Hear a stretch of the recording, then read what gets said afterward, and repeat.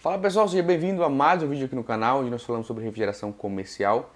Meu nome é Jefferson Oliveira, sou técnico de refrigeração e montador de câmaras frigoríficas. Pessoal, nós já estamos finalizando essa primeira parte, não estamos finalizando o curso não, calma, calma aí. Nós estamos finalizando essa primeira parte de montagem bruta, essa montagem de porta, isolamento, para quê? Para liberar o piso para o cliente fazer, que a gente não faz piso, você não faz piso, a menos que você queira pegar o piso também para fazer. Só que eu não pego para fazer porque é muita coisa e, e eu não me responsabilizo por piso. A gente orienta da melhor forma possível de fazer o piso, só que a gente é, não faz esse isolamento, esse, esse, essa parte de, de concretagem. A gente não faz, beleza? Então, se você quiser fazer também, aí é por sua conta, mas eu oriento a não fazer. Pega ali, montou a câmara fria ali, igual, igual eu falei, lembra, você não é pedreiro, você é montador de câmara fria. Mas se você quiser pegar para fazer, quiser um dinheirinho ali a mais, quiser, pode fazer, tá bom? Mas eu, a gente não faz, a nossa equipe não faz. E eu acho que 95% dos técnicos de refrigeração não fazem piso.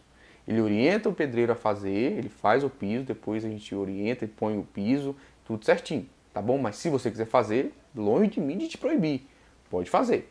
Quando a gente faz, quando o cliente exige, isso aconteceu uma vez, o cliente exige, ó, eu quero fazer tudo e pagar para uma pessoa só. Ele, ele não ia, é, até numa distribuidora, ele não ia fechar a câmara se a gente não fizesse o piso. Então ele queria uma empresa que fizesse o piso. A gente não ia perder o serviço. Não, a gente faz. A gente faz, aí eu contratei um pedreiro, orientei o pedreiro, né, tudo, terceirizei o serviço, eu mesmo não fiz. Terceirizei o serviço, arrumei o pedreiro, tudo, tive que comprar, tive que ir atrás de isso, de areia, de cimento, isso, aquilo outro foi bem cansativo, bem cansativo mesmo. Só nesse ponto, nessa parte que a gente é, faz esse, esse trabalho. Mas fora isso, a gente orienta o cliente e ele se vira com o piso, tá bom? Mas se você quiser fazer também, é você que manda. E a gente faz nesse vídeo de hoje, já, já te oriento. Se você não assistiu nenhum vídeo, não adianta você assistir o final. Não adianta, você não vai aprender nada. Estou te falando que você não vai aprender nada porque não vai aprender volta lá na aula 1 e vai vindo em sequência assistindo todas as aulas, porque senão você não vai entender nada do que a gente está fazendo, tá bom? Então volta lá e assiste, tá? Pessoal, nessa aula nós vamos falar, na última aula, entre aspas, dessa parte, até aí, nós vamos falar sobre o, a montagem da porta complicada. Essa porta, gente, veio toda empenada. Pensa no trabalho que deu essa porta. A gente tem que fazer várias adaptações, que ela tem que vedar, ela tem que fechar bem, porque é uma cama fria de congelada e, e enfim. Mas toda câmera tem que vedar, viu, pessoal? Não é só porque é descongelado que tem que vedar, não. Todas tem que vedar, tá? Então a gente tem que fazer o possível, o impossível para que ela fique 100%. A gente demorou quase duas horas para montar uma porta, enquanto a outra foi 10 minutos. Você vai ver no vídeo. Então, pessoal, é, a gente demorou muito a, a, montar essa porta, porque ela vem muito, muito né, fora de, de eixo. Mas a gente, graças a Deus, deu conta e a gente perseverando ali e ali a gente vai fazendo, tá? Então, é isso, pessoal. Nesse vídeo a gente finaliza essa parte, a gente vai isolar o piso da câmara de congelado também, é, finalizou as cantoneiras e vai montar a porta. Então, a próxima etapa é depois que o piso estiver pronto, depois que o cliente fizer o piso, aí a gente vem, entra com a próxima pa a parte, que é o motor, que é as cantoneiras L de fora, porque a gente tem outras coisas para fazer. Então, o que, que, a gente faz? Libera o piso, a gente faz, é, pede, por que a gente não faz piso? Eu estou te falando, eu tenho aí seis câmeras para montar. O que, que eu faço? Vou lá, monto, montei o painel, libero o piso para o cliente fazer e vou montar outra câmera. Tá entendendo? Então, assim, a gente não pode perder tempo fazendo piso. A gente tem que montar a câmera fria. O nosso objetivo aqui é montar a câmera fria, beleza?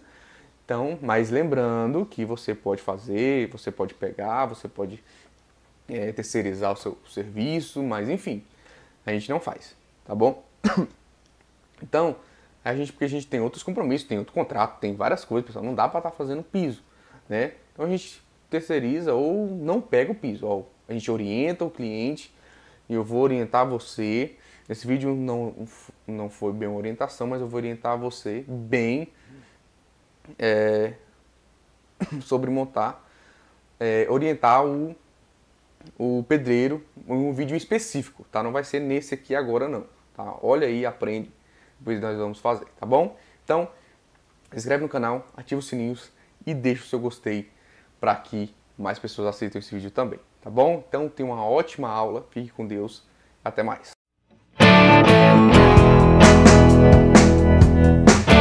Fala pessoal, aqui nós já cortamos ali, tá vendo? Nós já cortamos aquela parte ali, ó. Olha como é que ficou.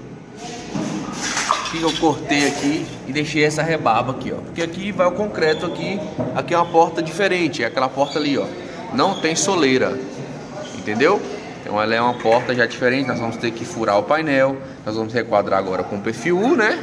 Igual nós fizemos na outra. Quando a gente montar a porta, você vai entender é, como vai ficar aqui. Porque ele vai fazer uma rampa aqui lá para baixo para subir carrinho. Eu vou também ensinar você a marcar aquela porta ali, ó. Porque ela tem, tá vendo? No batente dela. No batente dela, ó, tem uns furos onde vai passar o parafuso. Entendeu? Aqui, ó. Então aqui tem furo. Ó, tem seis furos. Então, é uma porta fabricada com painel, com o próprio painel. Ó.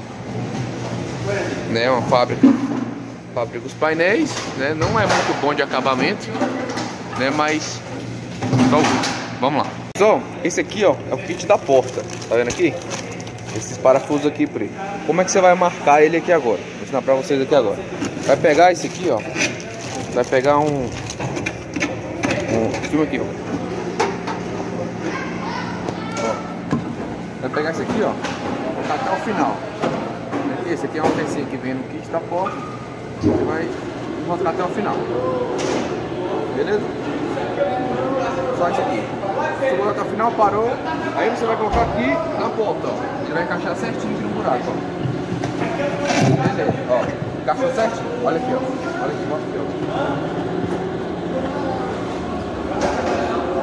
Beleza? Aí o que você vai fazer agora? Quanto que é seu painel? 10. O painel é 10, beleza? Você vai fazer aqui, você vai marcar aqui, ó você vai tirar menos um centímetro. Você vai marcar aqui, ó. Olha aqui, ó. Aí da, do batente aqui, ó. Tá vendo que tem um ressalto? Mas daqui do fundo aqui, ó. Você pode colocar aqui 9, ó. Encostado lá, tá lá, encostado lá. Vai marcar aqui 9. 9 centímetros. Beleza, marcou. Aí você vai cortar agora.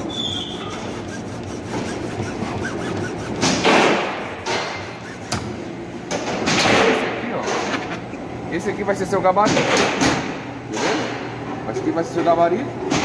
Aí você tira aqui, ó. A medida aqui, ó. Ficou com 12,5, tá vendo? Aí você vai fazer todos os parafusos, né? Você vai marcar aqui, ó. Vai rascar até o final. Marcou aqui, ó. 12,5. E você vai cortar de novo. Aí vai sobrar um pedaço. Sobrou um pedaço aqui já é outro parafuso, entendeu? Aí vai sobrar um pedaço, ó. Por exemplo, dois pedaços aqui, ó. São seis parafusos. Você vai enroscar aqui de novo. Enroscou aqui, ó, até o final. Aí se lá na hora de colocar a porta, quando estiver colocando a porta, você volta um pouquinho para ele crescer para dar certinho. Então é a mesma coisa, ó. Marcou aqui 12, 12,5 e porta. É melhor você cortar um pouquinho maior do que você depois ficar menor. Então depois tem como cortar se caso é, ficar um pouquinho maior, beleza? Então esse aqui é como você vai marcar os parafusos. A gente vai agora é, colocar um pouquinho aqui e vou ensinar você como que marca esses buracos aqui na frente. Pessoal, a gente tá terminando de colocar o U aqui, ó. Deixa eu dar uma dica pra vocês. Essa porta é diferente. Então a gente vai arrebitar só do lado de dentro, tá vendo ali, ó? para, não precisa ser muito perto do arrebite, tá vendo a distância aqui, ó, tá vendo aqui? É mais que um palmo, tá vendo? Um palmo e meio, né? Porque aqui, ó, esse aqui, esse lado aqui, ó, a gente vai deixar ele solto. A gente vai só apertar na hora de para marcar os parafusos, certo? Os buracos do parafuso, né? Assim, ó, mais ou menos vai ficar aqui assim, tá vendo aqui, ó? Ó, os quadros certinho. Por quê? Dá pra gente regular um pouquinho pra dentro, um pouquinho pra fora, porque aqui vai o batente, então tem que ficar certinho com o perfil e aqui não precisa arrebitar porque a, o próprio batente da porta aperta o perfil U e fica certinho, entendeu? Então isso aqui é pra gente regular aqui nesse batente aqui, ó. Tá vendo? Nesse batente aqui vai pra regular nesse batente. Pra ficar certinho no batente aqui de dentro, no caso, né? Vamos lá então. Marcar aqui agora a porta. Como a gente marca a porta. Vou ensinar vocês como que marca. Aqui, pessoal. Então aqui como que a gente vai marcar aqui, ó. nós temos que saber exatamente esse furo aqui pra gente furar aqui, ó. Tá vendo aqui, ó? Tá vendo? Nós vamos furar aqui. Então o que você vai fazer aqui, ó? Você vai pegar o esquadro, colocar no batente nessa altura aqui, ó. Tá vendo aqui, ó? altura da porta aqui, ó. De cima. Entendeu? Aí você vai pegar a trena aqui, ó, e medir aqui, ó. Vai dar aqui, ó, 6, exatamente 6 centímetros no meio do parafuso. Entendeu? Então pronto. Eu já sei do meu lado, esse aqui é do meu lado direito. Então eu vou marcar esse lado direito. E aquela parte aqui, ó, e essa parte aqui do lado esquerdo. A mesma coisa aqui, ó. Você vai fazer a mesma coisa aqui. Ó, ó, encostou aqui, chegou aqui, ó. Pronto. Mediu. Olha lá, 6 também, ó. No meio. Aí o que você vai fazer agora? Beleza. Você vai lá no painel, ó. Aqui, ó. Esse aqui é o lado de lá, certo? Você vai colocar aqui, ó. Ó. Exatamente o esquadro aqui nessa altura aqui, ó. E vai fazer um risco. Pra saber essa altura aqui. Mesma coisa aqui, ó. Vai fazer aqui, ó. Exatamente aqui, ó. Beleza. Aí daqui agora eu sei a altura desse perfil meu aqui. Aí eu vou marcar aqui agora, ó, 6 centímetros, que é ó, no meio do buraco lá. Ó, marquei 6 aqui. Vou marcar 6 aqui também, ó. Marquei 6 aqui. Beleza. Agora, eu preciso achar esse furo. Tá vendo aqui, ó? Esse furo aqui. Aí você vai marcar aqui, ó, ó, uma técnica aqui agora, ó. Pra saber exatamente o meio do buraco. Você vai botar na parte de baixo Ó, na parte de baixo aqui, você vai medir a parte de baixo, ó. 92. Aqui, ó. Não, olha, olha só de novo aqui, ó. Não, na parte de baixo aqui e na parte de baixo. Quando, ó, se você subir, botar aqui no meio, ó, olha quando vai dar lá, 92 exatamente. Então você botou embaixo, com embaixo também, dá 92. Se você colocar no meio aqui, ó, olha lá em cima, o meu dedo lá em cima. Vou botar no meio do buraco. Olha quanto é que deu aqui no meio do meu buraco. 92 no meu buraco, ó. Buraco da porta. 92. Aí aqui é a mesma coisa, ó. Pra, pra achar o de baixo. Vai botar aqui na parte de baixo. E na parte de baixo aqui, ó. 72. Tá vendo aqui? Se você subir pro meio, dá 72 exatamente no meio do furo. Beleza? Ó, olha lá, 72. E tá dando aqui embaixo aqui, olha, olha que a trena como ficou aqui, ó. Na parte de baixo, na parte de baixo do outro furo. Então, então exatamente eu vou ter aqui 82, que é exatamente o meio do buraco. Então esse aqui, ó, esse aqui, lembrando que é do lado direito, é daqui. E essa parte, nós vamos medir depois, é do lado esquerdo. Então, você, é, a medida é diferente. Às vezes você marca de um lado, é do outro e vai. Então a gente vai marcar aqui, ó. 92. Olha aqui, ó. 92 aqui. 92 e 72. Ó, 72. Beleza? Pronto, 72. Agora vou marcar o outro lado lá. Ó. A gente fez, ó. Embaixo aqui, o furo. Embaixo aqui do outro furo. Ó, já deu 92,5. Tá vendo? Já mudou. E aqui, ó. 92 pro. Ó, já deu 71. 71,5. Tá vendo? Então vamos lá.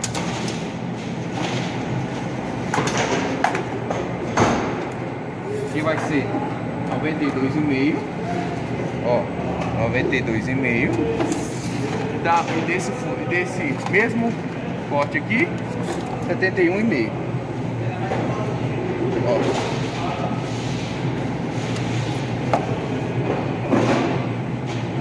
Setenta e um e meio.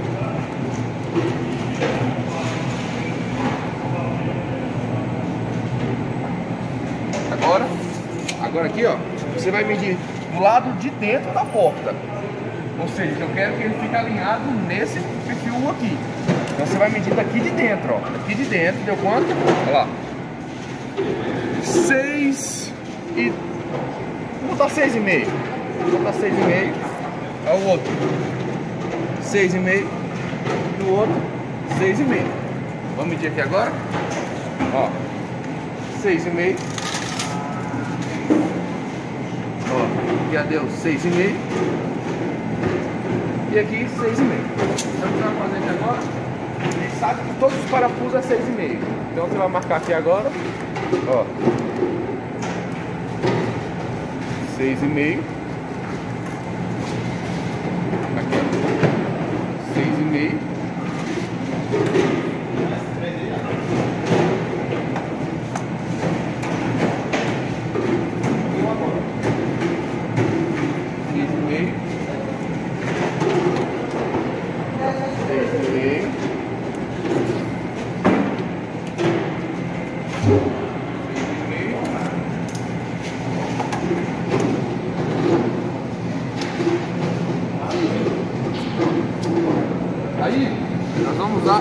Esse racopo aqui, tá vendo aqui, ó?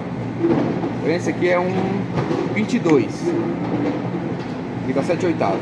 Então a gente vai usar esse furo aqui, a gente vai furar todo, gente tem que passar esse parafuso aqui dentro, tá vendo? Então esse aqui, ó, a gente vai passar, tem uma folguinha, a gente vai passar, atravessar o painel aqui, ó, vai ficar assim, ó. Vai atravessar aqui, para depois outro vir pela porta aqui, beleza?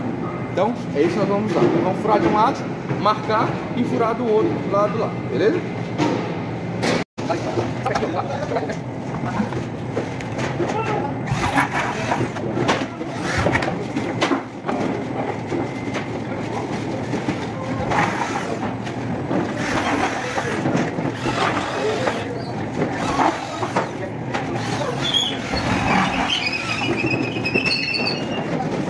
Aqui, ó. A gente vai usar um furão aqui, ó. Essa que a gente fez com essa chave, né? Um furãozinho pra gente marcar. A gente marca. Aqui no centro, ó. Furo, né? A gente vai ver tá retinho. E. Aí você marca. Você olha.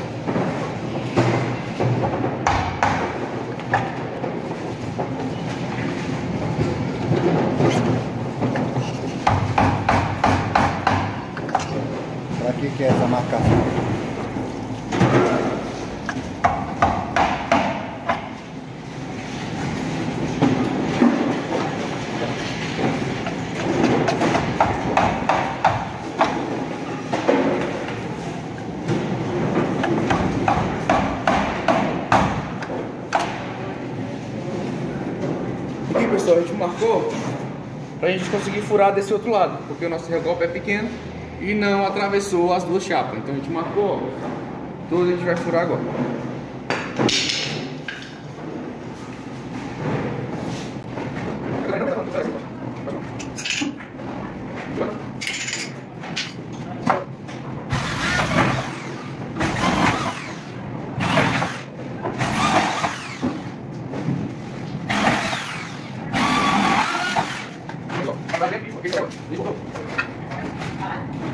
Para ficar melhor agora, para você entender, antes de você cortar todos os parafusos do tamanho, uma dica que eu esqueci de falar para vocês. Vamos cortar 2 com 12,5, por nossa medida, lembra? Nós vamos cortar 2 com 12,5 e colocar no meio. Pegou aperto legal, aí a gente vai e corta o restante com 12,5. Para depois não ter que colocar tudinho, tem que estar arrancando tudo, beleza? Então a gente vai pegar, é, cortar 2 com 12,5 e colocar no meio. Deu aperto legal, porque tem que dar um aperto bem legal, porque é uma porta, não pode cair. Então a gente tem que fazer bem, bem justinho mesmo, pegar aqui ó, um chaveado, tem uma chaveada desse tamanho, ó. Tá vendo Aqui a chaveada aqui. E a gente vai colocar, vou cortar agora pra gente colocar, beleza? Então aqui a gente já, depois de quase uma hora e meia para montar uma porta, eu falei para vocês que aqui é sinceridade, aqui é o que, gente- o que acontece mesmo, aqui a gente fala tudo, né? É, igual aquela porta de fibra lá a gente demorou 10 minutos para instalar a porta. Colocou a porta, fez o buraco, né? Rebitou. Essa aqui, meu amigo, a gente demorou quase uma hora e meia para conseguir instalar ela, toda o batente torto. É, enfim, cara, às vezes o cliente quer pagar mais barato, acaba depois pagando caro. Então, ó como é que ficou, né? Aqui, ó, acabamento, aqui, ó, retinho, né? Aqui a gente teve que fazer umas adaptações aqui, não é gato não, tá? É adaptação, porque vem penado o, o batente da porta. Aqui também, ó, né? Aqui a gente vai passar cola agora, pra gente mostrar pro cliente, né? A gente vai passar a cola aqui todinha, a gente já, já orientou o cliente, falou que a porta veio um pouco empenada, né? Mas enfim, ficou um fechamento muito bom, já que pra vocês aqui, ó, essa aqui é a porta, a aparência da porta, né? Ó. Então aqui, ó, ó como é que ficou o fechamento dela. né? Ó. Aí aqui, por isso que a gente colocou uns calços ali para poder vedar aqui, senão ficava aberto a borracha, né? Então provavelmente depois a gente vai ter que botar mais uns desses aqui, ó, lá embaixo, um desse aqui, aqui em cima, para melhorar ainda mais a vedação, entendeu? Mas ela é uma porta assim, razoável, boa, só que vem muito com probleminha. E daí, ó, a gente teve que aumentar essa peça, tá vendo aqui? A gente até passou os caflex aqui já, a gente teve que aumentar a peça para cá para poder encaixar melhor aqui. Então é várias adaptações que a gente teve que fazer para é, é, poder conseguir é, uma, uma, uma ótima redação. E outra coisa, essa aqui, ó, ali, tá vendo? Aqui, ó, ela tem borracha, tá vendo? Olha a borracha dela. Essa borracha aqui vai vedar no piso. Então o piso aqui, ó, vai vir essa altura aqui e vai fazer a rampa lá, entendeu? Ó, o piso vai vir essa altura aqui, ó, essa borracha aqui é a altura do piso. Ela vai vir aqui e fazer a rampinha lá. Por isso que, então isso aqui tudinho vai ficar embaixo do piso. O piso vai ficar essa altura aqui mais ou menos. Beleza? Então agora a gente vai aqui, pessoal, uma coisa que eu explicar para vocês do isolamento. Aqui, algumas pessoas podem falar: "Ah, mas o isolamento tá errado, tem que fazer isso, fazer aquilo outro". Deixa eu explicar para vocês. Aqui nós estamos utilizando o resto de material que o cliente tem, um dos melhores material, que é o poruletano. A gente não vai, não vai colocar esse isopor aqui, a gente vai colocar só o painel que sobrou ali. Algumas pessoas podem falar: "Ah, mas tem que passar asfalto" que é o correto, passar asfalto, passar alumínio, depois vir com isopor ou painel, enfim.